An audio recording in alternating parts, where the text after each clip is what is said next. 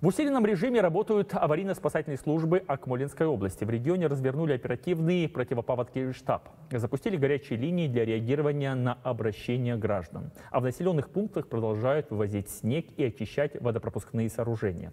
О том, как идет борьба с половодьем в области, расскажет Аслан Абдуталипов.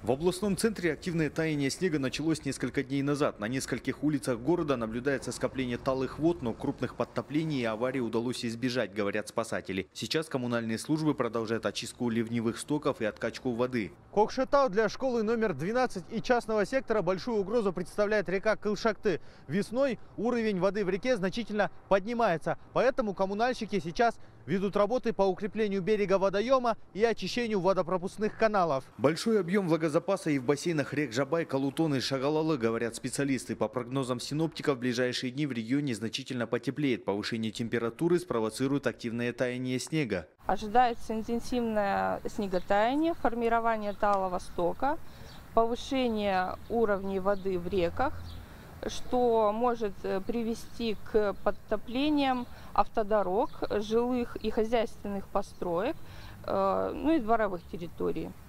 Э, с начала апреля наши синоптики прогнозируют устойчивое повышение дневных температур, положительные температуры будут – а, выпадение местами осадков в виде дождя. В оперативном штабе сообщили, что под угрозой подтопления в области находится 127 населенных пунктов. Сейчас в три района направили дополнительные отряды спасателей и спецтехнику. Вместе с этим бригады экстренных служб уже отработали свыше 50 вызовов. При поступлении сообщений незамедлительно реагируем, совместно выезжаем, и департамент ЧС выезжает, группировка, которая обеспечена мотопомпами, обеспечена техникой всем, значит, э, с необходимым сооружением, снаряжением, вернее, необходимым э, силами, средствами также совместно с МИО выезжают, э, ассенизаторские машины своевременно проводят э, откачку воды, где необходима укладку межкотар. Коммунальные службы продолжают работать в усиленном режиме. Им уже удалось вывести больше 2000 кубометров снега и очистить свыше 50 километров каналов и около 500 мостов. Аслан Абуталипов, Виктор Полянный, Кокшетау, 24 КЗ.